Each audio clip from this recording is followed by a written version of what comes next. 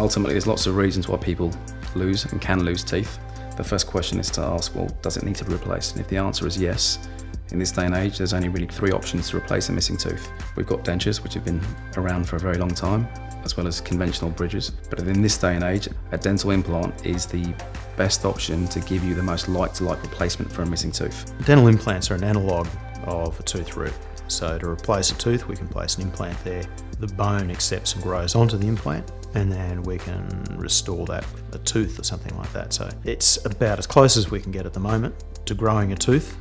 With any successful implant, it all comes down to planning. Whether it's 3D scanners, 3D imaging, or a world-class facility, all of which we have conveniently at St. Lucia Dental. So for us, the planning is paramount. We have the tools to execute, and hence St. Lucia seems like the perfect choice for anyone considering implants.